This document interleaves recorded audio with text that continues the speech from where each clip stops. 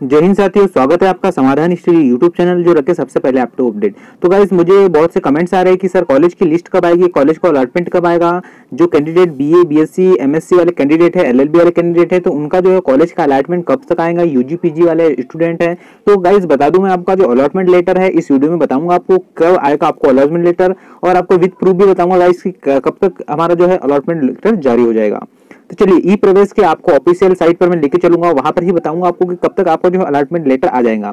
तो वह इस वीडियो स्टार्ट करने के पहले जो नए स्टूडेंट जुड़े हैं चैनल में तो आप लोग चैनल को सब्सक्राइब ज़रूर करें और बेल आइकन को प्रेस करना ना भूले। जैसे ही मैं लेटेस्ट अपडेट डालू कॉलेज से रिलेटेड अलॉटमेंट से रिलेटेड या फिर आपके रजिस्ट्रेशन से रिलेटेड सेकंड लिस्ट के तो सबसे पहले आप तक पहुँच पाए। देखिए गाइज़ बात करूँगा मैं पीजी यूजी पीजी एडमिशन के 2020 और 21 के बारे में। चलिए, मैं आपको लेकर चलूँगा इसकी ऑफिशियल साइट पर।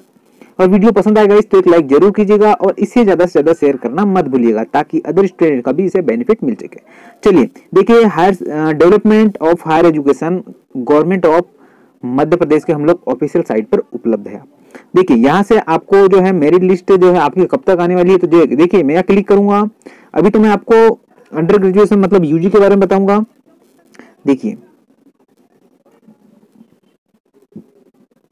स्टेप बाय स्टेप समझा रहा हूँ गाइज़ आपको कब तक आपका अलॉटमेंट लेटर जारी होगा?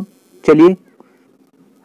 देखिए गाइज़ यहाँ पर देख लीजिए आप लोग, यह इसकी मेन साइट पर आ चुके हैं, यहाँ पर देखिए, क्या लिखा है यहाँ पर? अन्य जानकारी, समय सारणी, और यहाँ पर क्या लिखा है? देख लीजिए एप्लीकेशन आईडी फॉरगेट ट्रैक ये दिया हुआ है सब चेंज पासवर्ड क्रिएट पासवर्ड देखिए, यहाँ पर जो है, तिथि खत्म हो चुके हैं एडमिशन की जो आपकी फॉर्म डालना था, यहाँ पर तिथि खत्म हो चुके हैं। अब मैं आपको लेकर चलूँगा अन्य विवरण पे।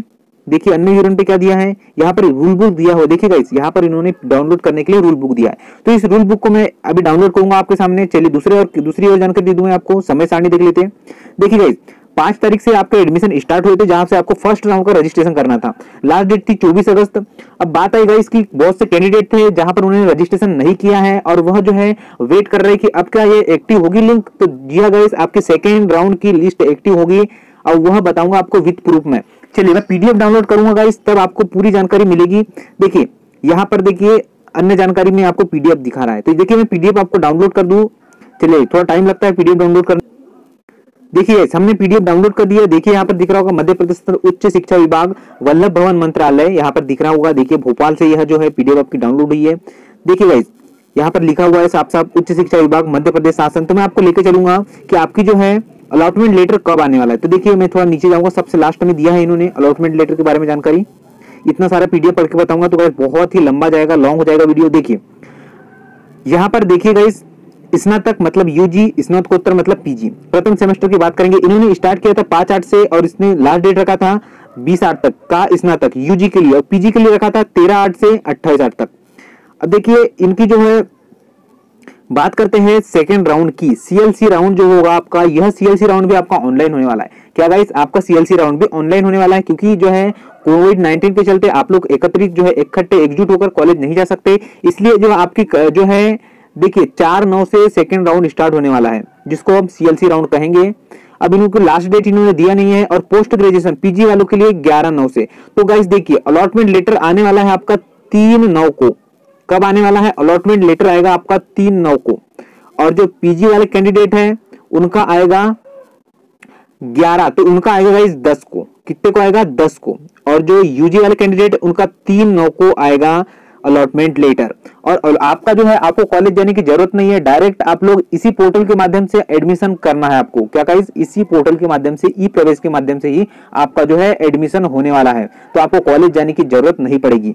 देखिए, इन्होंने दिया है जो है सीएलसी राउंड यहाँ पर दिख रहा होगा आपको, चार नौ से स्टार्ट होने वाला है। तो पहले आपका अलॉटमेंट लेटर आएगा, तीन नौ को इसका विशेष रूप से ध्यान रखेगा और जो है जल्दी से जैसे ही अलॉटमेंट लेटर आपके हाथ में आ जाएगा, जैसे ही कॉलेज का नाम आपके सामने आ जाएगा तो आप लोग जो है जल्दी से अपना एडमिशन करा लीजिएगा क्योंकि सेकेंड लिस्ट में नाम आए या ना आए, उसकी कुछ गारंटी नहीं है।